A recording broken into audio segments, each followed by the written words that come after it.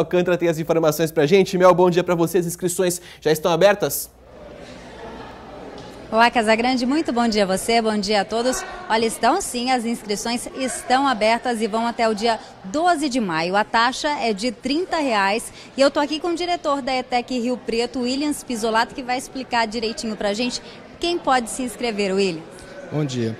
É, os alunos que estão cursando o segundo ano do ensino médio, ou então aqueles que já terminaram o curso do terceiro ano do ensino médio, podem se inscrever para esse vestibulinho. Existe algum requisito? O que esse aluno deve fazer para fazer essa inscrição? Não, é, os alunos devem só fazer inscrição no site, como você diz, pagar a taxa de inscrição e participar da prova que acontece dia 11 de junho. Os 40 classificados para cada um dos cursos é que são chamados para a primeira matrícula. Fala para a gente o endereço do site e como é essa prova, o que é cobrado? O site é o www.vestibulinhoetec.com.br e as provas são provas de conhecimentos de até o nono ano do, do, ensino fundamental. É uma prova com 50 questões objetivas, não tem redação e o aluno é, só faz a, a prova para ter a, a sua classificação geral. No total, a gente disse são 400 vagas, mas que cursos são oferecidos?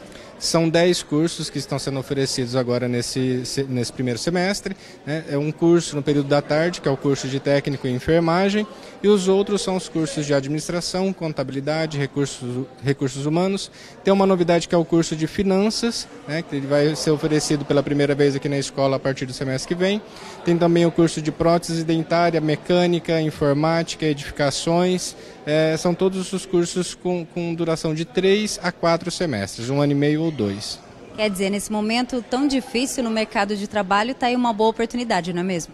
Sim, a gente tem uma alta taxa de empregabilidade dos alunos que são egressos, que gira em torno de 85% a 95% dos nossos alunos já saem do curso é, com emprego garantido.